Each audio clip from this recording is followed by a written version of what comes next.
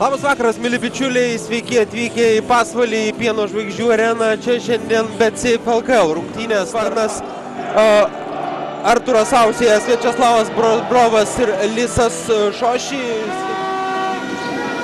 O, oh, gražus skrydis, Rokas Gedraitis. Pabandžio varžovai beveik perima kamuolį. Geras perdavimas po krepšiu. Ir Martynas Varnas. Greita ataka greitai užgeso. Bobrovas veržiasi galingai po krepšiu. O, vėl spaudžia varžovus Lietuvos rytas, tai reiškia palikta priekyje Nikita Balašova.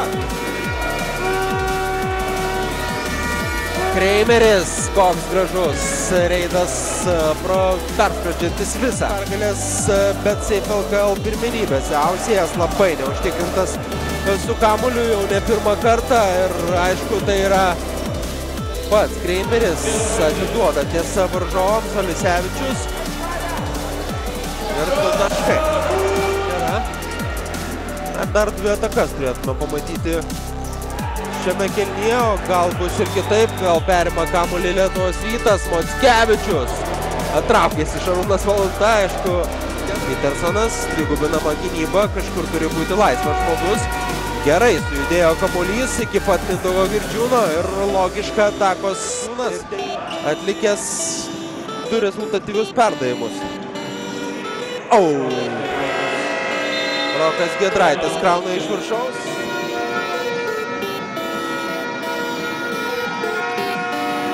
Eronas. Trys taškai.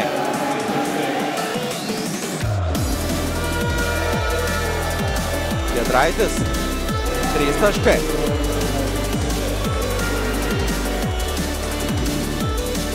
Bobrovas.